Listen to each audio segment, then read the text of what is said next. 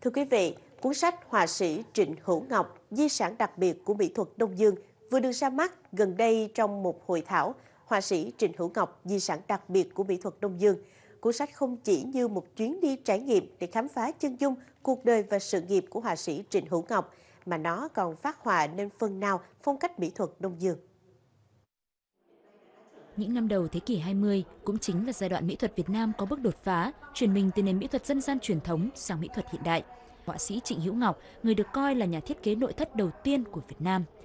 Được đào tạo về hội họa ở trường cao đẳng mỹ thuật Đông Dương, nhưng ông đã không chỉ vẽ tranh mà còn nghiên cứu, làm giá vóc dân ta, gặt hái những thành công với sự công nhận của xưởng gỗ Memo Ebenisteri.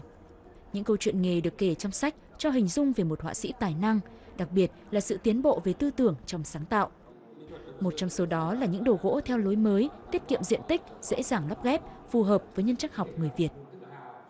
Thì nhìn ở góc độ thương hiệu giáo dục thì rõ ràng là mỹ thuật Đông Dương là một cái thương hiệu rất là giá trị và cái đóng góp của nó không chỉ trong cái khu biệt trong lĩnh vực văn hóa nghệ thuật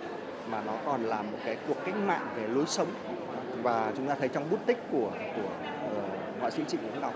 cũng trở đi trở lại về cái điều này. Rõ ràng khi xem tác phẩm của Trịnh Hữu Ngọc, chúng ta thấy hiểu là ông đã hiểu và yêu mến cái đất nước của của mình như thế nào. Phong cách Đông Dương hình thành đầu những năm 1920 tại Việt Nam có sự ảnh hưởng của Trung Quốc, Ấn Độ, Pháp và văn hóa truyền thống bản địa. Sự giao thoa giữa một châu Âu hiện đại, lãng mạn và tinh tế với một phương Đông trầm mặc, sâu lắng đã tạo ra những hình ảnh đậm chất nghệ thuật của phong cách kiến trúc Đông Dương. Một cụ quan niệm là thiết kế nội thất